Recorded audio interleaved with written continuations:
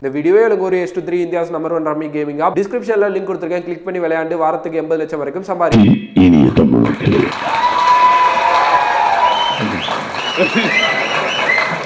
பத்திரிகையாளர்களே ஊடகங்களே வந்திருக்கும் ரசிக பெருமக்களே இதில் சம்பந்தப்பட்ட கலைஞர் பெருமக்களே அனைவருக்கும் வணக்கம். அடவி இங்க அடவின்னா என்ன அப்படின்னா வனம் தெரியும் வனாந்தரம் தெரியும் அடர்ந்த காடுன்னா தெரியும். அடவிங்கிறது நல்ல தமிழ். எனக்கே புரியல முதல்ல அடவின். அப்புறம் அந்த எழுத்தாளர் ஃபோன் பண்ணி அடவின்னா என்னம்மான்னு அடர்ந்த காடு. ஏன்னா தமிழ் நமக்கே தெரியல. அவ்வளோ அழகாக அதை இது பண்ணாங்க. இந்த படம் பார்த்தேன். பாவம் தயாரிப்பாளர். எவ்வளவு துணிச்சல் உண்மையிலே ரமேஷ் நம்பி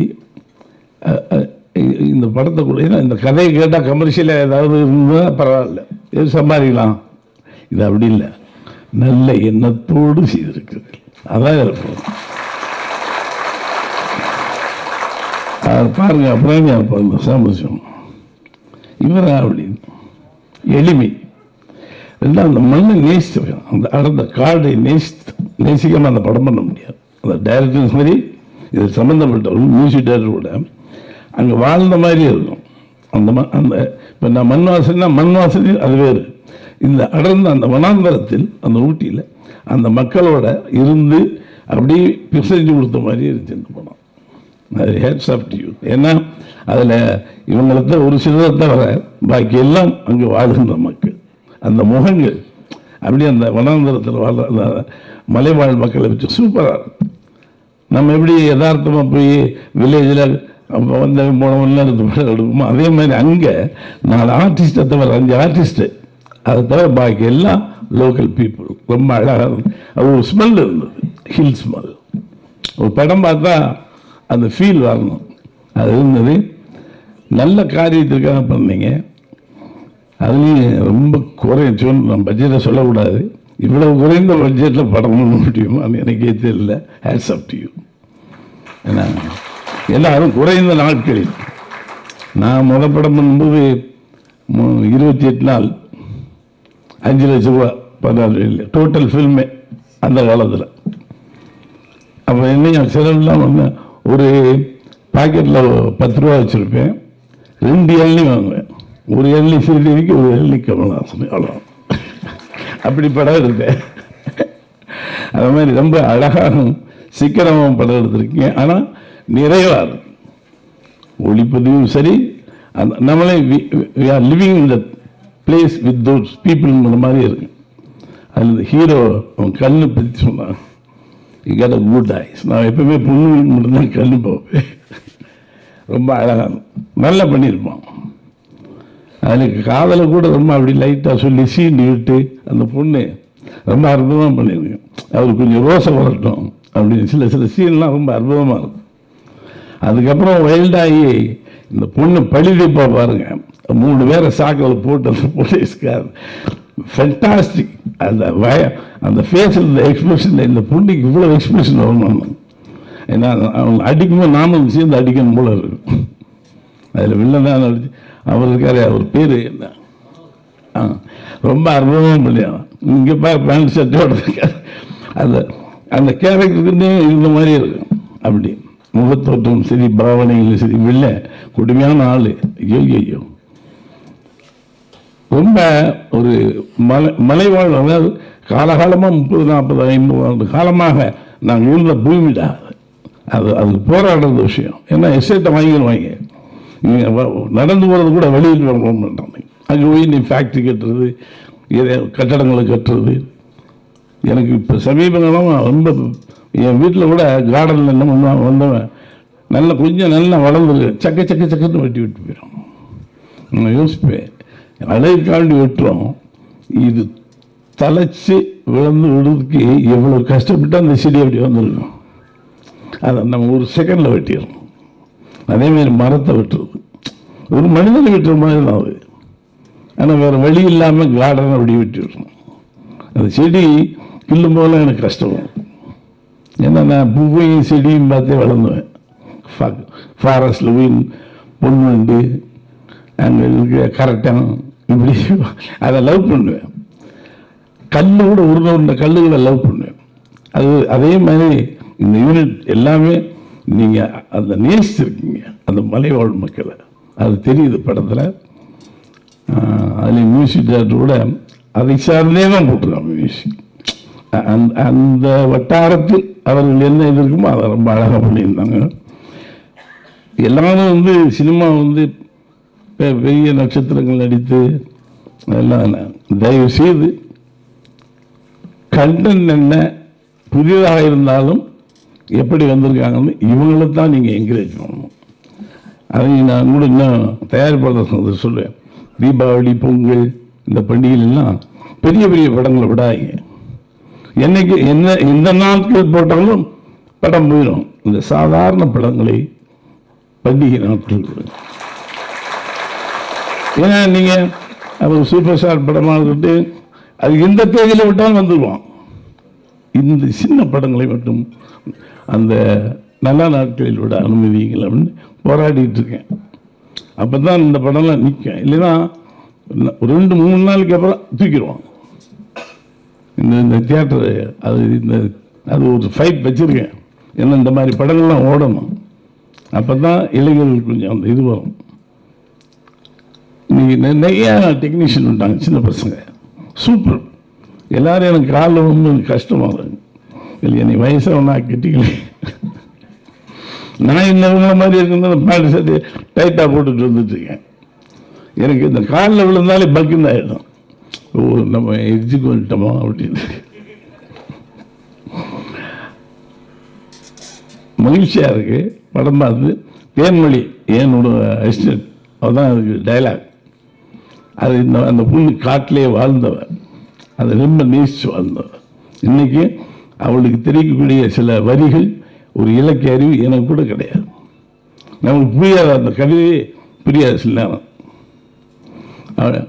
என்ன தெரியல வரல. எல்லாருக்கும் என்ன சொல்றதுன்னு தெரியல. எளிமையாக அழகாக நல்ல மோட்டிவேஷனோட ஒரு படம் எடுத்திருக்கீங்க. சினிமா அப்படிங்கிறது அந்த அரிதகம் இல்லாமல் எடுத்திருக்கீங்க. அதுக்காக வேண்டி உங்களுக்கு hats off to you hero heroine நீங்கள் ரெண்டு பேருமே ரொம்ப அழகாக இருந்தீங்க. Everything is good in the film nice வாழ்க. முன்னோட்டம் பாடல்கள் இரண்டு பார்த்ததுக்கு பிறகு ஏற்கனவே இந்த படம் ஒரு படம் இப்படி ஒன்று நடந்துட்டுருக்குன்னு தெரியும். இந்த படத்தை பார்த்ததுக்கு பிறகு ஒரு வாழ்வியலை பதிவு பண்ணியிருக்க அந்த துணிச்சல் இயக்குனருக்கும் அதோடைய தயாரிப்பாளர் கேமராமேன் மூன்று பேர்த்துக்கும் வந்து நம்ம முதல்ல ஒரு பெரிய பாராட்டு கொடுக்க வேண்டியிருக்கிறது. ஏன்னா வாழ்வியலை பதிவு பண்ணுறதுக்கு வந்து இந்த காலத்தில் வந்து பிரம்மாண்டத்தையும் வியாபாரத்தையும் முன்னாடி நிறுத்தி வாழ்வியலை வந்து பதிவு பண்ணுறதை பின்னோக்கி தள்ளுறோம்.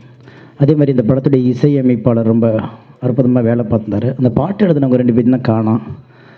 வந்திருக்காங்களான்னு தெரியலை. இருந்தும் அவர்கள் சார்பாக இங்கே நான் வந்திருக்கேன்னு நினைக்கிறேன். ரொம்ப சந்தோஷமாக இருக்குது பொதுவாக சொல்லுவாங்க ஆட்டை கடிச்சு மாட்டை கடிச்சு மனுஷனை கடிச்சிட்டு அடிப்பாங்க ஆனால் இன்றைக்கு அரசாங்கமாக இருக்கட்டும் அலை காடுகளை பாதுகாக்கக்கூடியவர்களாக இருக்கட்டும் மண்ணை கடித்து மலையை கடித்து காடை கடிக்க ஆரம்பிச்சிட்டாங்க.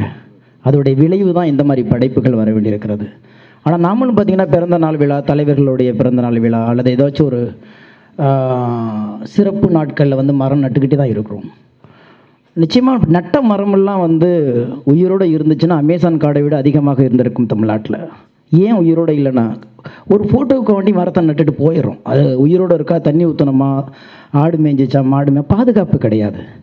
ஏன்னா நாட்டை தான் பாதுகாக்க முடியலன்னா காட்டையாவது பாதுகாக்கணும். நீங்கள் நாட்டை விட க காடு ரொம்ப முக்கியம். அது வந்து ரொம்ப அழகாக பதிவு பண்ணதுனால தான் இத்தனை இடத்துல விருதுகள் வாங்கிட்டு வந்திருக்கு. வீடு வந்து நாமளே நமக்கு வந்து நாட்டுக்குள்ளே நமக்கு ஒரு பாதுகாப்பு ஏற்படுத்தி கொடுத்துருது மிஞ்சி போனால் ஒரு அஞ்சு ஆறு ஜீவன் ஒரு வீட்டுக்குள்ளே கிடக்கும். ஆனால் ஒரு மரத்துக்குள்ளே ஆயிரக்கணக்கான ஜீவன்கள் வாழ்ந்துட்டுருக்கு. பறவைகளாக இருக்கட்டும் செடிகளாக இருக்கட்டும் அதுக்குள்ளே புழு பூச்சி வண்ணத்து பூச்சி ஆயிரக்கணக்கான பறவைகள் ஆயிரக்கணக்கான புழு பூச்சி அந்த மாதிரி நிறைய உயிரினங்கள் நிழல் அந்த அந்த தன்மையை இழுத்து வச்சுக்கிற நம்ம ஊரில் நடுற மரங்களுக்கும் காட்டில் உள்ள மரங்களுக்கும் தன்மை வேறு. இங்கே மழை பெஞ்சிச்சுன்னா ஒரு பத்து நாள் கூட இதால் இழுத்து வச்சுக்க முடியாது. ஆனால் காட்டு மரங்களுக்கு அந்த வைரம் பாஞ்ச அந்த வேர்கள் அவ்வளோ ஆழமாக இழுத்து வச்சுக்கும். ஆனால் அதை அழிச்சிட்டோம்னா கொஞ்சம் கொஞ்சமாக காடு அழிய போகும்போது நாமளே நம்மளை மல்லாக்கப்படுத்திட்டு எச்சி துப்புற மாதிரி ஒரு விஷயம். அந்த மாதிரி ஒரு காலகட்டத்தில் வாழ்வியலை பதிவு பண்ண படங்கள் மட்டும்தான் வெற்றி பெற்றிருக்கிறது. இப்போ எனக்கு முன்னாடி பேசின இயக்குனர் சொன்னார் சின்ன படம் பெரிய படங்கிறது ஜெயிக்கிறது வந்து பெரிய படம் தோக்குத்து போனுச்சுன்னா சின்ன படம்னாரு. பொதுவாக வாழ்வியலை பதிவு பண்ணுற படங்கள் தான் பெரிய படம். இன்றைக்கு இயக்குனர் இமயம் இங்கே உட்காந்துருக்கார் அப்படின்னா அவர் பெரிய பிரம்மாண்டத்தில் எந்த படமும் எடுக்கலை. அப்படியே போனார். கேமராவை தோளில் தூக்கிக்கிட்டு காட்டு பையன் மாதிரி கிடக்கிற ஒரு நாலு பேரை கூட்டிட்டு நீங்கள் தாண்டா கதாநாயகன் சொல்லிட்டு ஏவிஎம் தேட்டருக்குள்ளே கடந்துச்சு இல்லையா சினிமா முடங்கி. ஒரு தே ஒரு ஒரு ஒரு அரங்கத்துக்குள்ளே கடந்த சினிமாவை தூக்கி தோளில் போட்டுக்கிட்டு வெயிலும் மழையும் அங்கெல்லாம் வந்து இந்த கேரவான் சொகுசு வாழ்க்கையெல்லாம் கிடையாது. மரத்தடியில் உட்காரு சாப்பிடு எழுந்துருன்னு சொல்லிட்டு போட்டு அந்த வாழ்வி எழுதினார். ஆனால் பிரம்மாண்டத்தை கோடிக்கணக்கில் இன்றைக்கு செலவு பண்ணிகிட்ருக்கிற இருக்கிற எந்த இயக்குனரையும் பேர் சொன்னால் தான் தெரியும். ஆனால் வாழ்வியலை பதிவு பண்ண இயக்குனரை இயக்குனர்னு சொன்னாவே அது பாரதி ராஜா சாரை மட்டும்தான் குறிக்கும். இங்கே வாழ்வியல் முக்கியப்படுகிறது. ஏன்னா வாழ்க்கையை பதிவு பண்ணாத எதுவுமே வெற்றி பெற்றதில்லை. சமீபத்தில் ஒரு அஞ்சு வருஷத்தில் வாழ்க்கையை பதிவு பண்ணது. சமீபத்தில் நான் ரொம்ப மிரட்சியாக பார்த்தது ஒரு ராட்சசி நான் உடனே ஃபோன் பண்ணி அவர்கிட்ட பேசினேன்.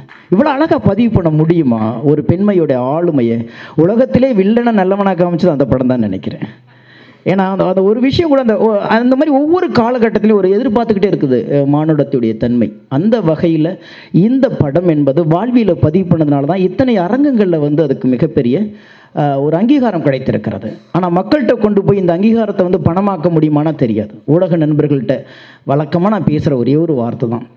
எல்லாத்தையுமே இந்த உலகத்தில் போய் வாழுங்கன்னு சொல்லி அமிச்சாங்க. ஊடக நண்பர்களை மட்டும்தான். போய் வாழ வைங்கன்னு சொல்லி அமிச்சாங்க. யாரை வாழ வைக்கணும்? யாரை வாழ வைக்கக்கூடாதுன்னு உங்கள் கையில் இருக்குது இருபத்தி நாலு மணி நேரத்தில் ஒரு படத்தை நல்ல படம்னு உங்களால் சொல்ல வைக்க முடியும். இருபத்தி நாலு மணி நேரத்தில் ஒரு படம் ஒன்றுமே இல்லைன்னு சொல்லியும் வைக்க முடியும். ஆனால் உலகத்தில் மிகப்பெரிய தர்மம் காவல்துறைக்கு அடுத்தபடியாக நீதித்துறைக்கு அடுத்தபடியாக ஏன் கடவுளுக்கு அடுத்தபடியாக மக்கள் எடுத்த உடனே நம்புறது ஊடகங்களை மட்டும்தான். காலையில் என்ன பேப்பர் வருது? ஒன்றுமே இருக்காது. நம்மால் டேபிளில் உட்காந்துட்டு ரெண்டு காசியும் எழுதியிருப்பான். அவன் இவனை வச்சுருந்தான் அவன் இவன் இவன் அவளை வச்சுருந்தான்னு சொல்லிட்டு. அதை வச்சுக்கிட்டு ஒரு பத்து பேர் பேசிகிட்டு இருப்பான். அப்படியே நம்புவான்.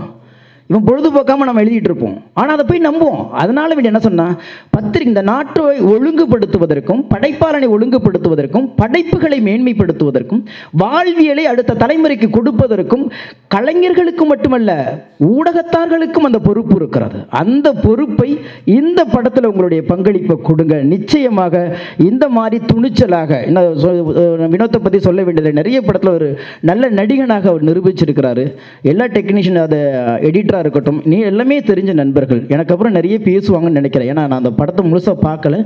இருந்தும் எங்கள் காடுகளையும் மரங்களையும் செடிகளையும் இயற்கைகளையும் காப்பாற்ற வேண்டும் என்று எங்கோ ஒரு தமிழனுக்கு ஒரு சிந்தனை வந்திருக்கிறது. அந்த சிந்தனை வெற்றி பெற வேண்டும் என்று வாழ்த்தி விடைபெறுகிறேன். நன்றி வணக்கம். இந்த வீடியோ எனக்கு ஒரு ace two three India's number one rummy gaming app டிஸ்கிரிப்ஷனில் லிங்க் கொடுத்துருக்கேன். கிளிக் பண்ணி விளையாண்டு வாரத்துக்கு எண்பது லட்சம் வரைக்கும் சம்பாதிக்கலாம்